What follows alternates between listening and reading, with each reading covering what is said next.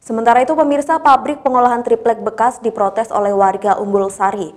Warga mengeluhkan adanya suara berisik dan debu yang dikeluarkan oleh industri tersebut. Pemerintah desa berusaha untuk melakukan mediasi agar perseteruan ini bisa segera didamaikan. Beberapa perwakilan warga dari Dusun Jatilawang, Desa Tegalwangi, Kecamatan Umbul Sari, Jember, mendatangi balai desa untuk menyampaikan protes perihal pabrik pengolahan limbah triplek yang dinilai menimbulkan bising dan juga debu. Pabrik pengolahan finer atau triplek yang sudah berdiri sejak 10 tahun yang lalu berjarak sekitar 200 meter dari rumah penduduk. Tempat usaha ini beroperasi hanya satu tahun sekali di bulan tertentu atau saat pabrik gula Semboro membuka penggilingan tebu.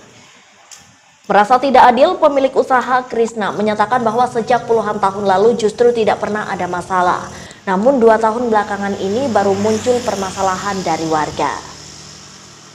Dirinya juga menyatakan bahwa tidak ada kebisingan dan debu yang berterbangan di sekitar lokasi usaha tersebut. Bahkan usaha ini juga memberdayakan 15 tenaga kerja lokal yang menggantungkan mata pencaharian di lokasi tersebut. Ada mediasi sudah ditemu katanya uh, Mil kita itu harus menanti cek di lapangan.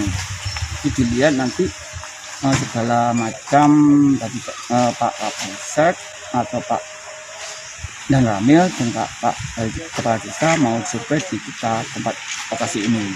Jadi apa yang diminta dari kita Ramil katanya di masjid banyak debu. Nanti kita selesaikan semua di semua. Nah kita berani terus cek di buktikan kita Perwakilan warga yang ditemui di balai desa setempat tetap bersikukuh dan merasa terganggu atas suara bising dan juga debu. Oleh sebab itu, warga berharap mesin segera diperbaiki sedemikian rupa agar tidak lagi mengeluarkan suara yang terlalu keras dan juga debu yang terlalu banyak. Bising. Sampai jam berapa Pak itu biasanya? Pak? Biasanya pagi sampai sore. Malam hari? Ya, malam hari enggak, kalau malam hari enggak kerja. Dampak dari anak-anak TPG di situ kan ada lembaga TPG TK terus MI gitu. Jadi kan mengganggu di pendidikan. Proses makanya belajar mengajar pak ya? Nah, proses belajar mengajar itu sangat mengganggu.